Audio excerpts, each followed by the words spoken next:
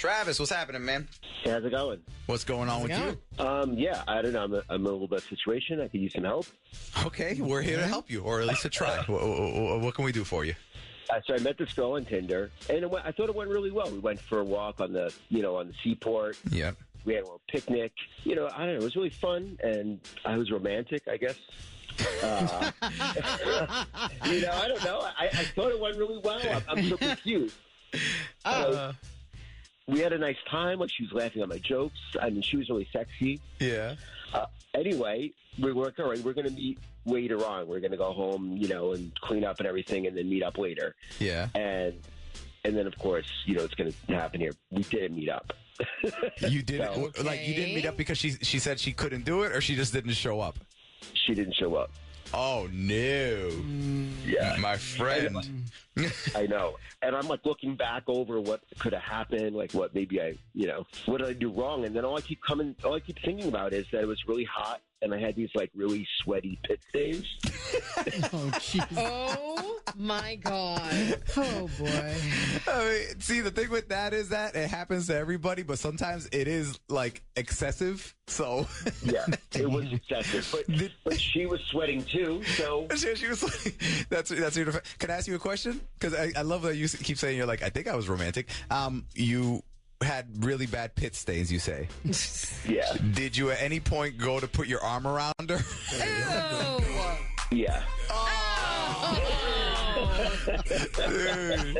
All right, so you can't think of anything that you did though besides being excessively sweaty. Not really. All right, Travis, hang on the phone. We're gonna try and uh, give her a call for you. All right. Hello, this is Sheena. Sheena, this is Romero, Pebbles, and Melissa. Can uh, we're calling you from Hot 96.9, the radio station? And, and can I explain to you really quickly why we're calling? Well, how'd you get this number? I'm at work. Well, we got your number from a, a gentleman who wanted us to call you. He gave us your number. He would like to ask you out on a date, basically. And he wanted us to call because if you say yes to a date, you tell us where you'd like to go for a nice dinner or something like that. When you're free, all that stuff. We'll schedule it and we'll pay for the entire thing. And I'll tell you the guy's name too.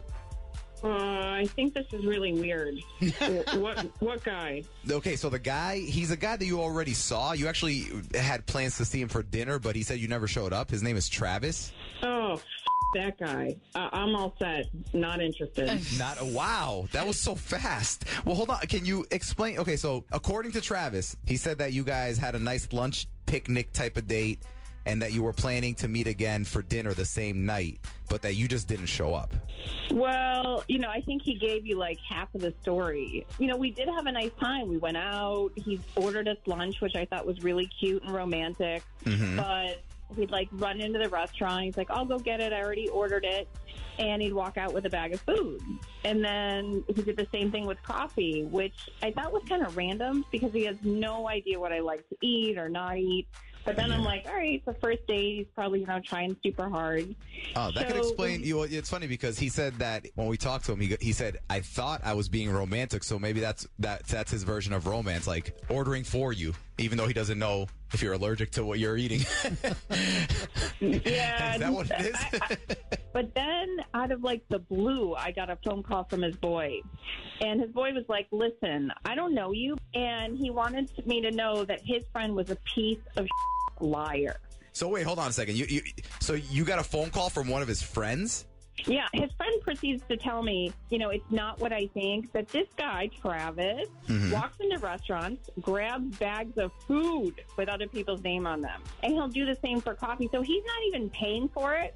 He walks in like he owns the restaurant. hold on, hold on, hold on. He'll he'll just go in and just grab like any order. Of, Mhm. Who comes up with this idea? wait, hold on. Okay, I got to tell you right now, Sheena. Travis is on the phone. Travis. Yeah, Yeah. Travis, is what she's saying true? yeah, it's true. oh my god. Okay, th- th- no, you know. I commend you for being honest, but I have a question for you. If you did that for for for a lunch date, right? And you asked her Yeah. to go to dinner later, later, what were you going to do? Sit at someone else's table when they went to the bathroom? No, I have this whole thing for dinner where I pretend they messed up our food and I end up getting it for free. Oh my Honestly, I'm like I, I'm not the best looking guy, so like I, at least if I like act like a baller, it helps. You know, I hope to win them over with my personality. so you hope I mean, to, wait, hold on. So based you, on the sound of it, he ain't gonna do that much yeah, either. so you hope to win the girls over with your personality, and then you're going to reveal that you're a liar, and that's going to Yeah, yeah, but I've already won them over at that point. Uh, okay, and uh, does this work for you often?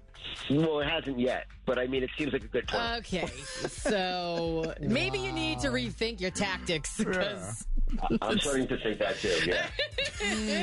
Travis, you're a piece of. Sh- you told me that you owned a Subway franchise, and your friend told me that you actually work at Subway, and the Mercedes that you drove up in. Like you, you, you end up test driving the cars and return them the next day. Like, who Wait, hold on. You you, that? you drove up. What kind of car did he drive up in? a Mercedes. And a Mercedes, and you you took it for a test drive, and then you Yeah. I was trying to make a good first impression. Mm, Travis, uh. I don't care how good your personality is. Like the, at the end of the day, the girl's gonna be like, "Hey, this guy might be funny, but he's he, he's lying to me about every aspect of his life." Everything. I, I didn't lie about everything. I mean, I, I was truthful about my family, like my sister and my dog, and I mean, I, yeah, I don't.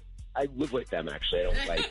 I, of course you do. I live in I live in my parents' basement. Honestly. okay, oh, all Oh my right. God, Sheena! Now you know the honest truth about Travis. Travis, is there anything else that she needs to know Right. before we ask her? No, I mean that's the thing. We we we're, hit- we've hit rock bottom now. Like it's we can only go up, right? There's the sure? side. Sheena, it's on you. Would you like another date with Travis? You know, besides lying about his job, his car, and God knows what else, His living situation. his living situation. I think there's more. yeah. There's probably more. The only thing is, like, he was actually a, a really charming dude. He was a nice guy, and I Don't probably let the would go out with charmers him get to you. Wait, hold on. Are You're you- supposed to be you're supposed to be on my side. I am. so, Sheena, it sounds like you're gonna. You're, I you're, know, You're, you are you are you gonna say yes to another date?